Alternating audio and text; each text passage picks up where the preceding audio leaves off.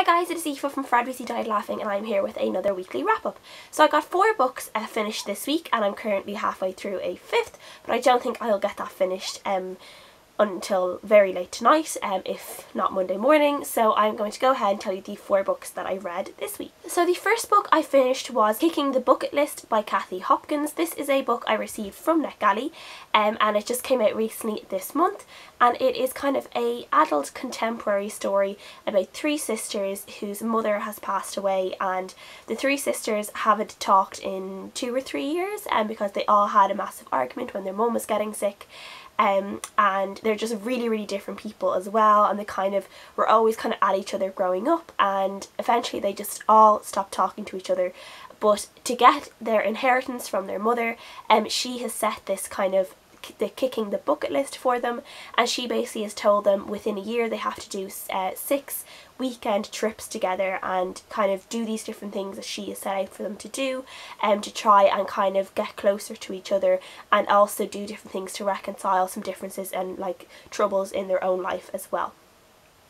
So the story is narrated by one of the sisters called Daisy and the other sisters are Fleur and Rose and they're all just so completely different and I did really really enjoy this book for the most part. I read a book last year called The Alphabet Sisters by Monica McInerney um, and it's very very similar to this book um, in a way because it's about three sisters who also haven't talked for years um, and then they are brought together by their granny organising a party for herself where in this they're obviously or being brought together by their late mother who has organised this list for them. Um, but there's just some things that happen in both books that are very very similar. One thing that happens to characters in both books um, are literally almost the exact same. Um, so it did remind me a lot of another book I read but there were obviously differences in the story so I was able to quite enjoy this one. It was quite predictable at times but I sometimes like that about these kind of books. I like kind of seeing where it's going to go and I enjoy kind of being right when it does go there um, and yeah, it was just like a nice, fun, and it was quite emotional at times as well. It was one that, you know, it didn't really hit me really, really hard, but there were just some times when like you know their grief for their mother came back because their mother has only been dead a few months at the start of the book and they're still dealing with all their grief and there's times where they all miss their mum at the same time like times they see her on the video cameras when she's telling them every every weekend trip of what she's planning for them to do and they see her on the video camera and there's a lot of descriptions about their feelings seeing their mum like that um looking very much alive when they know obviously that she is dead and she's not with them anymore. And I really felt that like grief and the rawness of her not being around anymore when the characters were describing it um, and I did really enjoy that. There was one thing in this book that just did kind of irritate me um, and it was at one point one of the sisters um, the two of the other sisters were joking at the expense of another sister, the older sister, and the older sister Rose described the two other sisters as retarded and that just annoyed me because I feel like you know it's 2017 and we don't need those kind of slurs in books anymore. Now in saying that what I was reading was obviously a um, an e-proof copy. It wasn't the final copy so for all I know that's not in the finalized version of the book. Um so that could have been taken out I have no idea. But that was one thing that did um just stand out to me that I felt shouldn't be there. Um and then there's another point where they're doing a Zumba class and the sister uh, one of the sisters Dee she describes um like the three of them doing the Zumba class as a special needs outing and again there was just that kind of you know I don't really, I like I just I don't know I just it just rubbed me up the wrong way and I just feel like those kind of things don't need to be in books anymore because I do know that the word retard was used in Paper Towns I think um, and John Green did get um, slammed for it at one point a few years ago and he has come back and said if he was to write it again he would take that word out that he wouldn't use that word and he understands that it was wrong for him to put that word in there um, and I do feel the same here. So but as I said for all I know that didn't end up in the final version um, of the book on the shelves. So I gave this book a 3.5 out of 5 stars. The next book I read was Knight's Shadow by Sebastien de Castell and this is the second book in the Greatcoats trilogy which is kind of a fantastical Three Musketeers type story um, about this world where there was a king and he had these knights called the Greatcoats and they were like fantastic fighters they were kind of they went around and told the laws they were able to settle disputes um and they were kind of like judge and knight and jury all at the same time I guess. The dukes and the duchesses overthrew the king and killed him and all the greatcoats were left without any kind of leader but before he died the king all gave them separate missions. Um, but we don't know what each mission was. It was just the only person that would know it was the king and the person he gave the mission to. So they all have different missions and we are following three different greatcoats we are Falcio de Monde um, and his friends Kest and Brasti.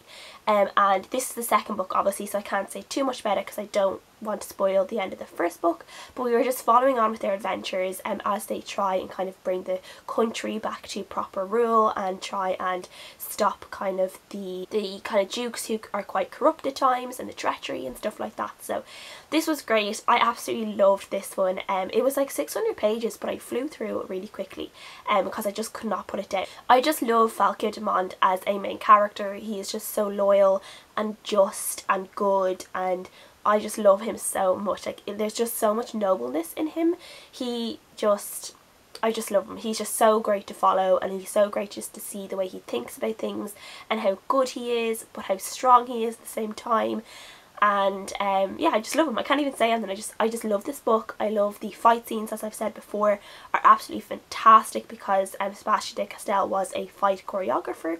Um, he was I don't know if he still is but I do know that he was. Um, so everything is described so perfectly in the fight scenes. Like there's so much description but it's so real and you can just see it in your head and it's so great. Um, but yeah, I absolutely loved this one. I love the series. I can't wait to get the third one from the library very soon. Um, and yeah, I just can't wait to continue on with this and see how it goes. So I gave this a 5 out of 5 stars. The next book I read was also a NetGalley book and it was The River of Kings by Taylor Brown.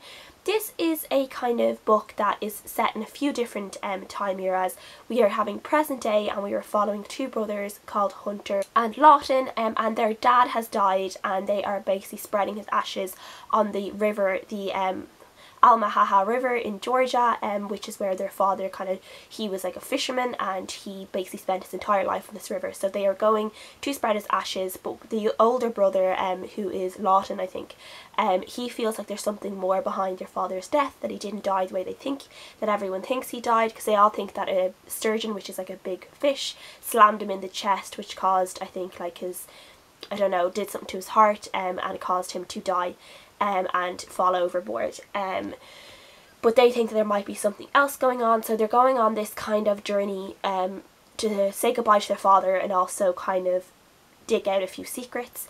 Um, and then we're also getting a look at, it's 1564 I think, and it's the French people, um, I think at the when they started Fort Caroline um, and I think that's also on the Mal Altamaha River, I'm not 100% sure, um, but so we're following these like very, very early French settlers in what would become the United States.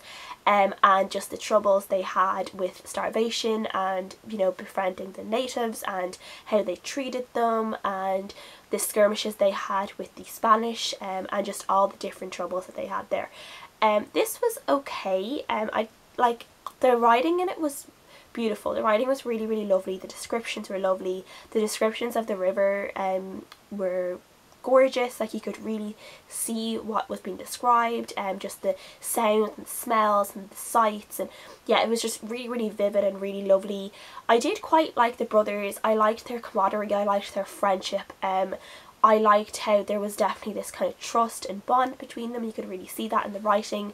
There was one point because the one of the brothers, the youngest brother, is only in college, so he he's quite young, and the other, the older brother, is in his twenties. Um, and they had a conversation at one point where the younger brother was asking the older brother if he thinks that he's gotten fat because he was saying there's some men in his college that are really really ripped and really muscly and have eight packs and all this kind of stuff. And he was getting a bit concerned that like he might be fat and or he might be getting fat. And it was a really really brief moment but I really enjoyed it because I just liked that that was put through these two very macho men who would have had grown up with a very macho man father and they had this very brief conversation about body image and um, just like how they perceive themselves and I just really liked that. I just thought it was really honest um, and it's nice to see men talk about those kind of things where women are so concerned about being skinny all the time. Men are also seen like other men, like celebrities and stuff, being really ripped and really muscly. So obviously that would affect them as well and seeing other people obviously like in the gym or whatever being really musty. Like obviously that would affect men the same way seeing loads of skinny girls um, will affect women. Um, and I just I just really liked that that was put in there even though it was so so brief. There was a very brief moment in this that also didn't really work for me. Um, it was quite just crude and vulgar. I just, it's something that I didn't really like that was put in, but again, I can't say what it is because it would be a spoiler. Um, I do have it in my Goodreads review um, if people do want to know what happens, but um, I just thought it was a bit much really to put in because it was quite descriptive at some point uh, though it was a very brief moment in the book as well um, it didn't last very long. It was only like a few paragraphs which was okay. I did enjoy the historical aspect of it. There was a lot of things like I don't know much about the very early start in the United States. I don't know much about American history like in general to be honest.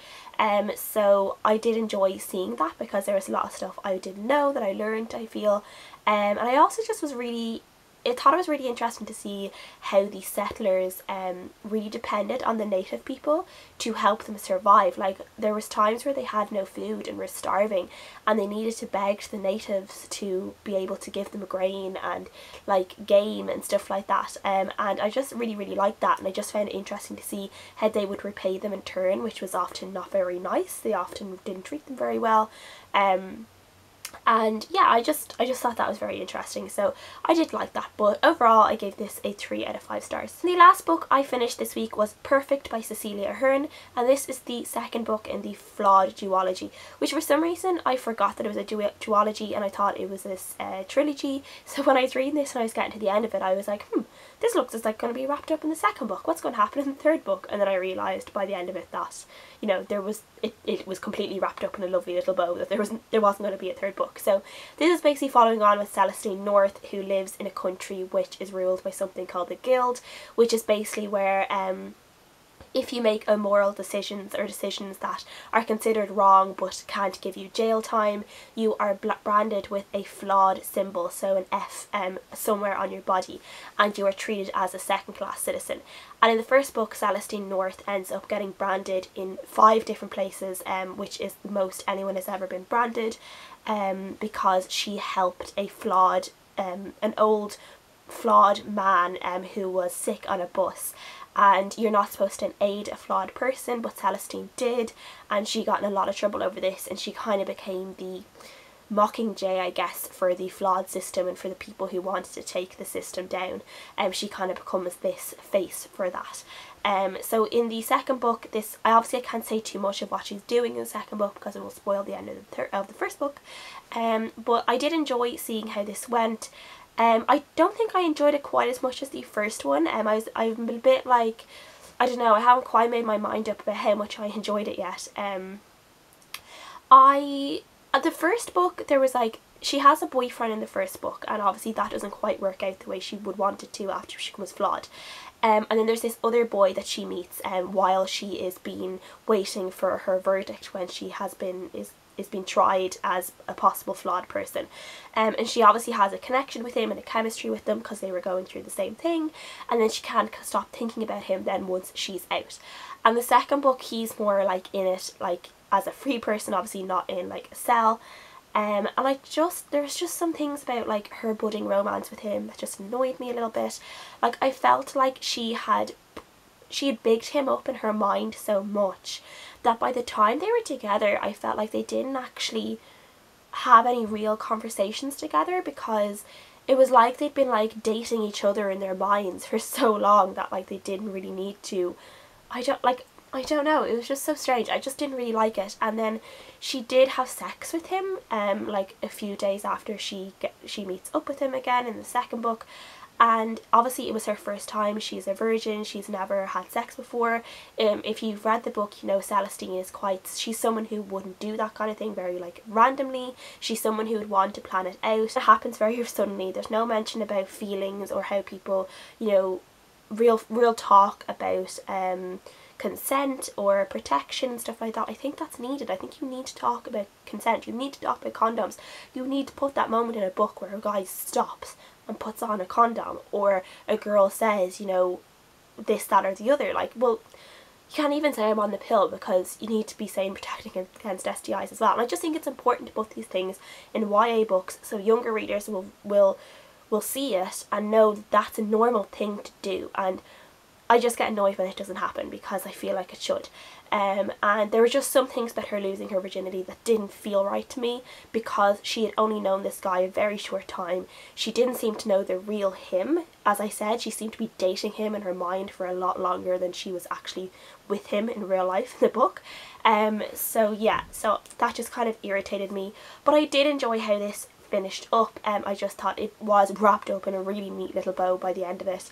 Um, it wasn't you know there there weren't very like nothing was left unanswered everything was answered that you wanted to be answered. Um the one thing i enjoy about this book is that the guild does is like this big ruling force but it is not um the only power.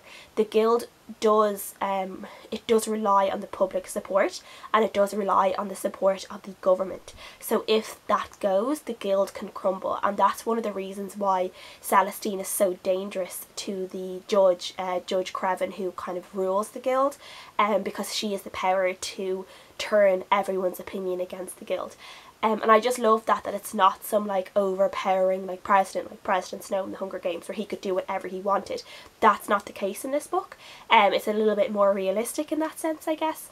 Um, and I do enjoy that. So yeah, but I gave this a three, three point five out of five stars. Can't quite decide yet. I think three, three point five maybe 3.25 to even it out. Um, but yeah, I did enjoy it. I did enjoy the duology as a whole. Um, I would recommend it for people if they want a YA duology, if they're looking for something that might be fun and quick to read. Um, so yeah, so that is everything that I've read this week. Please let me know what you guys are reading at the moment, what you guys think of the books that I have read, um, and I will see you guys again next time. Bye!